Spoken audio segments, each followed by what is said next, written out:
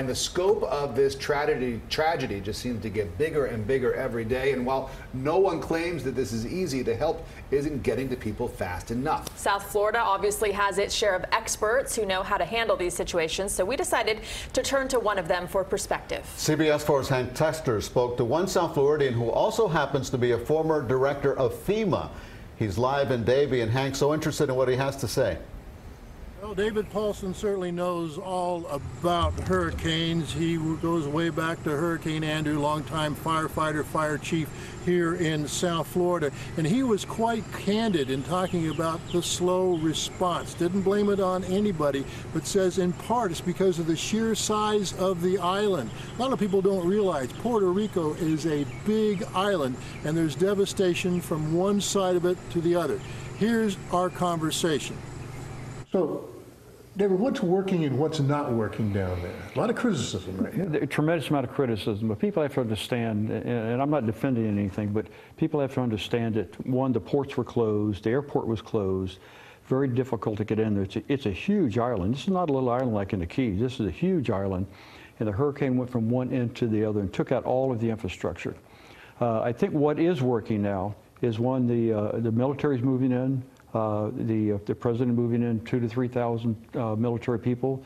That will help a lot with logistics. Nobody moves stuff better than U.S. military. They're the best in the world. So that's going to really help FEMA. That partnership with FEMA and the, and the United States military, the active troops, uh, getting on the ground, getting some logistics set up to start moving stuff around the island. Because right now it's kind of piling up at the, at the port and, uh, and it has to be a system in place to get that distributed out through the, through the rest of the island.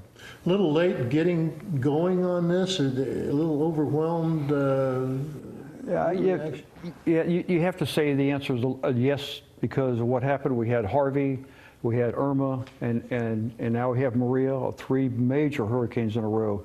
Uh, it is stressing the system. But I think the, the biggest problem was what I said earlier. The, the ports were shut down, you couldn't get ships in there. Uh, the, uh, the airport was shut down. You couldn't land anything. So that was a little slow getting started. Okay, now people are saying, oh, well, ship a bunch of truck drivers down there, ship a bunch of gasoline. Uh, it's not that easy, is it? it? It really is not. As, First of all, the infrastructure is down. We have bridges out. We have roads that are impassable. Uh, this, is a, this is a major undertaking. This is not something that's going to get better in a couple days or a couple weeks. It's going to take a long time to get the roads cleared, to get the supply chain going. Uh, so right now, I'm assuming they're going to have to use helicopters to drop police, uh, places and people off at the different areas that are inaccessible by road. So that'll be the first step. Any advice to the current FEMA director right now? Well, he's going to take a lot of heat. He's a great emergency manager. He really is. Uh, he did a great job in Alabama. He was emergency manager there when I was the, uh, the FEMA director. Uh, really knows his stuff, has a lot of support. He's got good people around him. My advice is take a deep breath.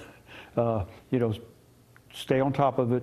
Keep doing the press conferences. You you're going to get beat up, uh, but you have to get, keep, keep, keep the press informed of exactly what you're doing. Well, David Paulison puts a lot of stock in the military, and those of you that went through Hurricane Andrew remember uh, help was a little slow coming to South Florida. Remember, where's the cavalry? Well, when the 10th Mountain Brigade did arrive and they got set up in Homestead, boy, things really started popping, as you'll well remember. That's the very latest. I'm Hank Tester, CBS 4 News. Back to you.